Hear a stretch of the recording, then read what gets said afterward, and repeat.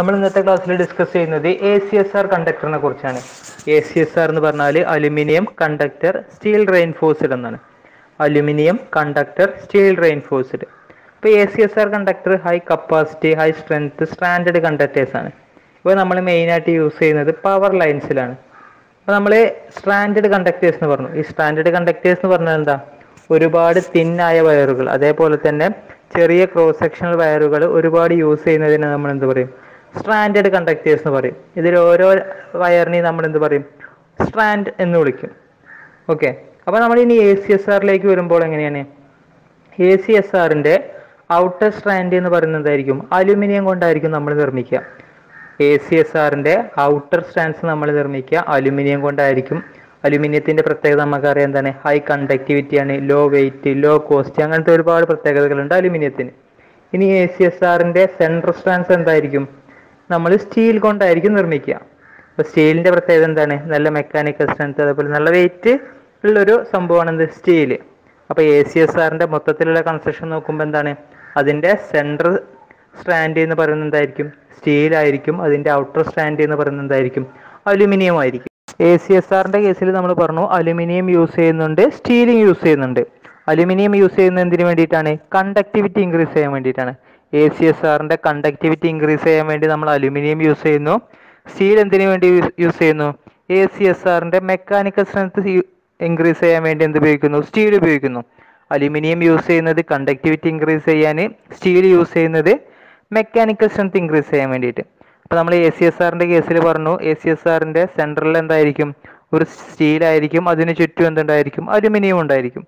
അപ്പോൾ ഈ സ്റ്റീൽ നമ്മൾ ഉപയോഗിക്കുക ഏതാണ്? ഗാൽവനൈസ്ഡ് സ്റ്റീലാണ് ഉപയോഗിക്കുക. അതേപോലെ തന്നെ അലുമിനിയം ഏതാണ്? റെയിൻഫോഴ്സ്ഡ് അലുമിനിയം ആണ് യൂസ് ചെയ്യുന്നത്. ഈ റെയിൻഫോഴ്സ്മെന്റ് ചെയ്യുന്ന എന്തിനു വേണ്ടിയിട്ടാണ്? ആ അലുമിനിയത്തിന്റെ ടെൻസൈൽ സ്ട്രെങ്ത് ഇൻക്രീസ് ചെയ്യാൻ വേണ്ടിയിട്ടാണ് നമ്മൾ റെയിൻഫോഴ്സ്മെന്റ് ചെയ്യുന്നത്. സ്റ്റീൽ ഗാൽവനൈസ് ചെയ്യുന്നതോ? കൊറോണ പ്രിവെന്റ് ചെയ്യാൻ വേണ്ടിയിട്ടാണ് നമ്മൾ ചെയ്യുന്നത്. അപ്പോൾ എ സി എസ് ആറിൽ റെയിൻഫോഴ്സ്മെന്റും ചെയ്യുന്നുണ്ട് ഗാൽവനൈസേഷനും ചെയ്യുന്നുണ്ട്. സ്റ്റീൽ എന്ത് ചെയ്യുന്നുണ്ട്? ഗാൽവനൈസ്ഡ് സ്റ്റീലാണ് ഉപയോഗിക്കുന്നത്. കൊറോണ കുറയ്ക്കാൻ വേണ്ടിയിട്ട്. അതേപോലെ തന്നെ റെയിൻഫോഴ്സ്മെന്റ് അലുമിനിയമാണ് ഉപയോഗിക്കുന്നത്. ടെൻസൈൽ സ്ട്രെങ്ത് ഇൻക്രീസ് ചെയ്യാൻ വേണ്ടിയിട്ട്. അപ്പോൾ നമ്മളൊരു എ സി എസ് ആറും കോപ്പറും എടുക്കുകയാണെന്ന് വിചാരിക്കാം. ഒരു സെയിം സൈസുള്ള എ സി എസ് ആറും കോപ്പറും എടുക്കുകയാണെന്നുണ്ടെങ്കിൽ എന്തായിരിക്കും? എ സി എസ് ആറിന് ലോങ്ങർ സ്പാനും അതേപോലെ തന്നെ ലോവർ സാഗും പോസിബിൾ ആയിരിക്കും.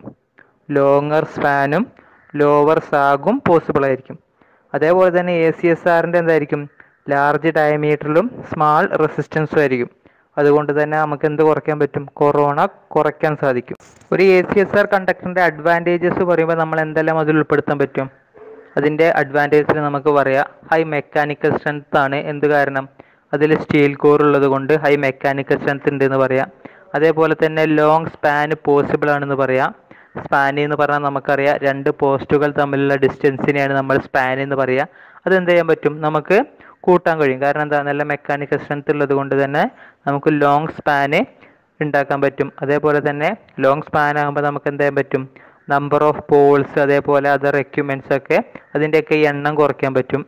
അതേപോലെ തന്നെ S A A C S ആറിൽ എന്താണ്? സ്കിൻ എഫക്റ്റ് കൊറോണ എഫക്റ്റീവ് ഒക്കെ വളരെ കുറവാണ്. അതേപോലെ തന്നെ ലോങ്ങർ ലൈഫ് പോസിബിൾ ആണ്. കോസ്റ്റ് എന്ന് പറയുന്നത് എന്താണ്? ലെസ് ആണ്.